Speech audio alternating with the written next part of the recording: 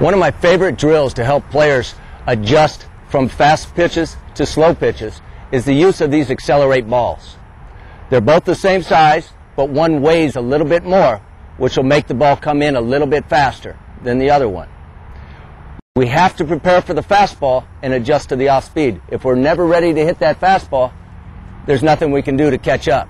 So we're going to prepare to hit the fast one and adjust to hitting the slow one. The further you move away to feed these balls, the bigger the difference is going to be.